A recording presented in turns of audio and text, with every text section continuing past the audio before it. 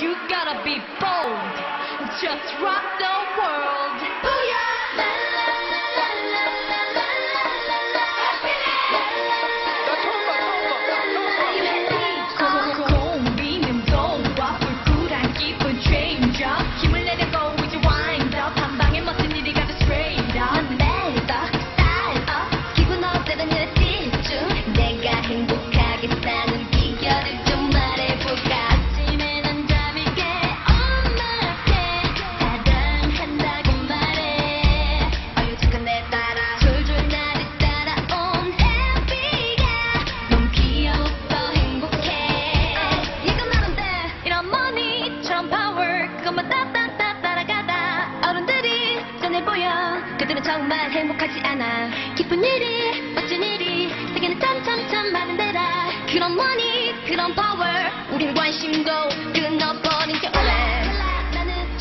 연습생 때 객석에 앉아서 본 관객 입장이었잖아요. SM 선배님들과 언제 한 무대에 쓸까 이런 거를 꿈꿔왔었는데 막상 저희가 쓰니까 뭐랄까 꿈을 이룬 기분?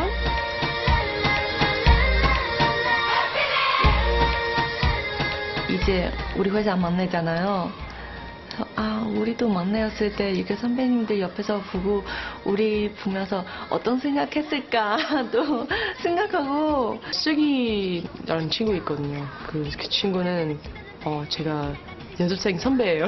저는 슬기가 데뷔한다고 들었을 때 되게 오 슬기 데, 드디어 데뷔한다. 약간 그 약간 자랑스러운 마음.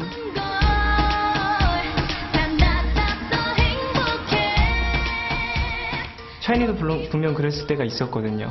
우리가 무대를 처음 올라갔을 때 느꼈던 기분들. 그분들 보면서 좀 제가 다시 느낄 수 있었던 것 같아요.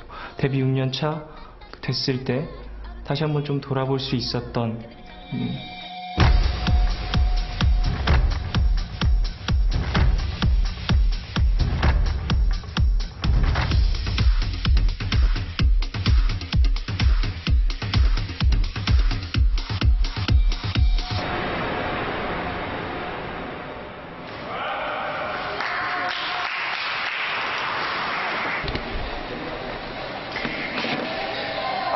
안 틀린 척.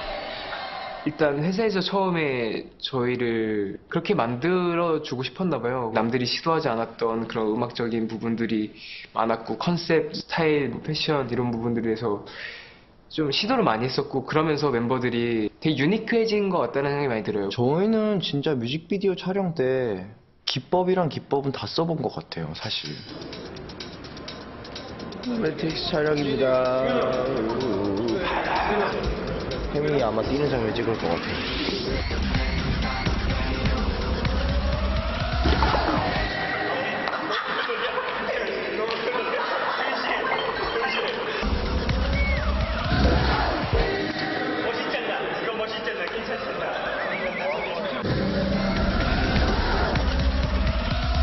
회사에서는 항상 샤이니 하면 좀 화성 진행이 독특하고 코드 자체가 어려운 곡들을 많이 가져오는 것 같고 우리 멤버들은 그래도 우리도 좀 대중적인 거 해야, 해도 되지 않을까라는 생각을 하면서 그 당시에는 어, 긴가민가 많이 했었죠 사실 하다 보니까 지금은 음, 다섯 명이 다 아는 것 같아요 어? 이 곡이 나왔으면 이 곡을 어떻게 해야 우리 걸로 만들 수 있고 굳이 말을 하지 않아도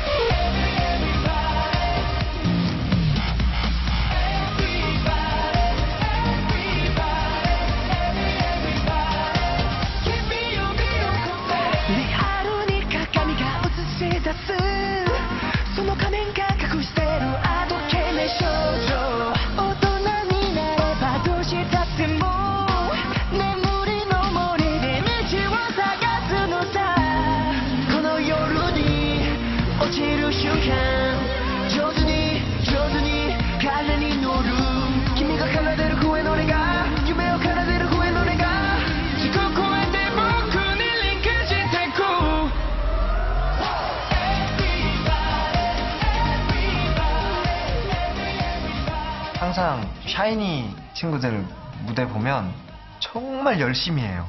무대에서. 어느 한 사람 빠짐없이. 그 다섯 명의 합이 너무 좋아요.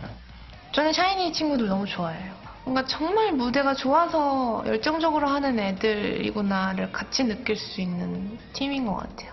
그 친구들이 되게 오래 연습을 한 친구들이에요. 제가 어렸을 때부터 그 모습을 봐와서 그런지 어렸을 때 이렇게 하던 애들이 이제는 저렇게 변해서 저렇게 이, 이런 과정을 보는 게 참 재밌는 것 같아요. 예전에는 정말 정말 무조건 시간이 조금이라도 나면 연습실로 가고 그랬던 것 같아요. 그 이유가 부족한 점이 있다고 생각했겠죠. 뭐 지금도 마찬가지긴 했지만 그때는 좀 더 간절했고 데뷔를 맨 처음에 막 했을 땐 난 아무것도 몰랐었고 어떻게 하는 게 확실하게 멋있게 보이는지도 판단이 안 섰었는데 거기에 대한 기준을 조금씩 만들어줬던 음, 분들이 스태프분들이었던 것 같아요. 실무적으로 어, 떠한 그런 음악의 진행부터 아티스트들과의 교류를 하는 일을 담당하는 게 A&R 팀이거든요. 처음에 이러한 기획을 함에 있어서 아티스트들이 굉장히 많은 얘기를 해요. 녹음실에서 녹음을 진행을 하면서도 끊임없이 이런 아티스트와의 교류가 있어요. 그런 게 회사 전반적으로는 좋은 분위기로 갖고 가고 있는 부분인 것 같아요. 샤이니 같은 멤버들 같은 경우는 되게 정말 사랑하는 게 에너지를 그렇게 소비를 해도요 에너지 잃지 않으려고 노력을 되게 많이 해요 사람들한테 사랑을 많이 받았던 요소들 중에 가장 컸던 게 사실 보여지는 춤이나 퍼포먼스였던 것 같은데 애들도 그렇고 감독님도 그렇고 되게 퍼포먼스 형태에 대해서 신경 굉장히 많이 썼던 걸로 기억해요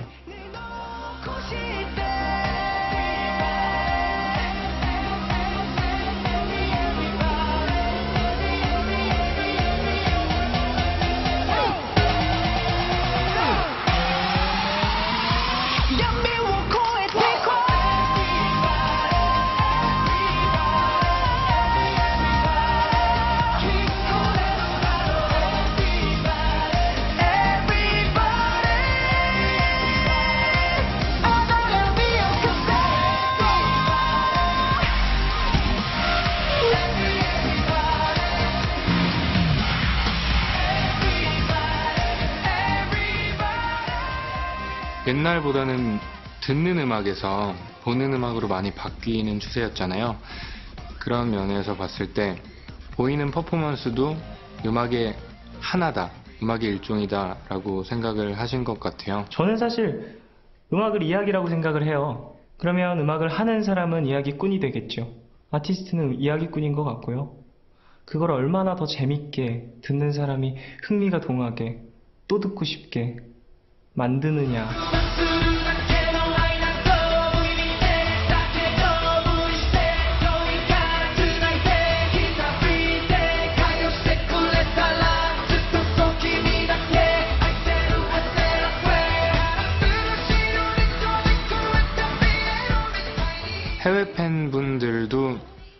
제일 쉽게 따라할 수 있는 동작이잖아요. 어떻게 보면 화려한 퍼포먼스 가운데 제일 쉽게 따라할 수 있는 루시퍼.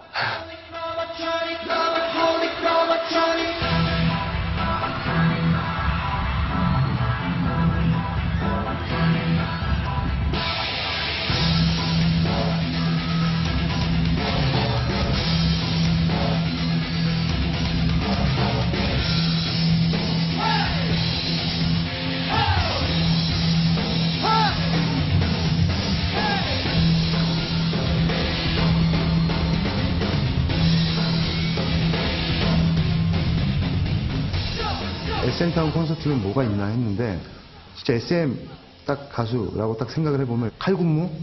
각이 딱딱 맞는 뭐 음악 아니면 멋진 노래? 그냥 SM의 색깔이 있는 것 같아요. 너무 그 멋진 색깔인 것 같고. 기본적으로 저희가 지향하는 음악은 그냥 좋은 음악 이거든요. 그 유행에 따라가기보다는 어, 유행에 약간 어, 반보 앞선 어, 그런 음악이나 그런 유행을 선도하기 위해서 집중하고 또 그런 음악을 만들기 위해서 노력하는 것들 작곡가나 음악 하시는 분들을 한국 작곡가 분들에 국한되는 게 아니라 유럽 미주 쪽에 있는 분들을 직접 초빙을 해서 작곡팀을 만들어서 곡을 또 생산하기도 하고 안무 같은 경우에는 이제 미국의 마이클 잭슨, 저스틴 팀버레이크, 마돈나 뭐 이렇게 안무를 직접 하셨던 그분들을 또 직접 섭외를 해서 한국으로 모셔와서 안무를 하다 보니까 이게 한국뿐만 아니라 전 세계에서 또 사랑을 받을 수 있는 가장 큰 포인트가 된 것 같고